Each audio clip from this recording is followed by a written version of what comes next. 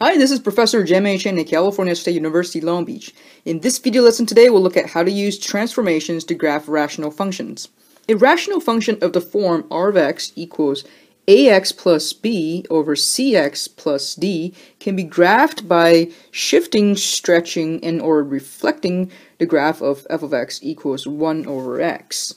So notice that the rational function has to be of the form of a linear polynomial over a linear polynomial in order for us to do this. So it's essential basically to look at the graph of f of x equals 1 over x and then just apply the known transformations to it to get to the resulting r of x. For example, if I want to sketch r of x equals 2 over x minus 3, we first let f of x be the original 1 over x function, then we realized that r of x can be obtained by applying two transformations to f of x. Namely, I can first do a horizontal shift to the right 3 units to obtain f of x minus 3. Then to get the 2 on top, I multiply the entire function by 2, which is equivalent to the effect of stretching vertically by a factor of 2. We label f of x to f of x minus 3 step 1, and then f of x minus 3 to 2 times f of x minus 3 step 2. Then graphically, this corresponds to going from the original 1 over x graph, which is in the first and the third quadrant, looking like this, with the horizontal asymptote at the x-axis and the vertical asymptote on the y-axis. Then step 1 corresponds to having the vertical asymptote at x equals 3, having the vertical asymptote at x equals 3, and then just shifting everything accordingly. Then in step 2, we're going to stretch vertically by a factor of 2, which means that for every x value, we're going to double its y value. So for example, if this was x equals 4, then its y value is at 1. We're going to double that to 2. For x equals 5, its y value is 1 half. So if we double that, it's going to be 1 fourth. And you can kind of see it basically gets come a little bit more extreme in the y direction. But the basic shape is still the same. So this will become the final graph of the r of x function. Let's look at another example next. Here I want to sketch the function s of x equals 3x plus 5 over x plus 2. And I want to contrast this example with the previous one. Notice that the polynomial function on top has the same degree as the polynomial function on the bottom. They're both degree 1. Versus in the previous case, the polynomial function on top is a constant function, which has one degree less than the polynomial function on the bottom.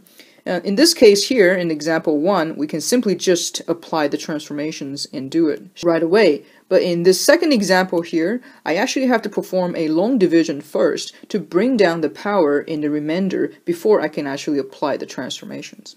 With the long division on the side, I have 3x plus 5 is a dividend. The divisor is x plus 2. I'm going to get 3 as my first term of the quotient. That's 3x plus 6 and then subtract those two, I get 5 minus 6, that is negative 1. Which means by the long division process, I can rewrite the original function 3x plus 5 over x plus 2 as the quotient 3 plus remainder over the divisor, which is negative 1 over x plus 2.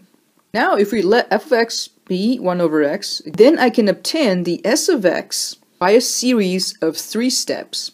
First, I can make f of x plus 2 which corresponds to a horizontal shift to the left 2 units. Next, I will get negative f of x plus 2 by applying that negative sign in front of the entire function, which has the effect of reflecting around the x-axis. And finally, I can add 3 to the entire expression, so that's going to be 3 minus f of x plus 2. And adding the 3 has the effect of translating the entire function up by 3 units. You can verify that if I were to apply these operations to the original function 1 over x, you should get back to the s of x as desired. Because this is telling you to do 3 minus f of x plus 2. Well, that is to replace the entire function input x by this new input of x plus 2. This gives me 1 over x plus 2, which is what we have for s of x. So that means these transformations must be correct. To sketch, we start with the original function f of x. Step 1 tells us to shift to the left by 2 units. Now the vertical asymptote becomes x minus 2, so your graph should be near around x minus 2. In step 2, we need to reflect around the x-axis, so take all y values, basically just change it to its opposite y values. First portion, which sits above the x-axis, now becomes below the x-axis, and then the second portion over here originally sits below the x-axis, now it's going to sit above the x-axis. Finally, in step 3, we're going to apply the vertical shift up by 3 units. Originally, we have the horizontal asymptote on the x-axis. Now the horizontal asymptote is going to be on the line y equals 3. We get a picture that looks like this. And that's our final graph of the function s of x.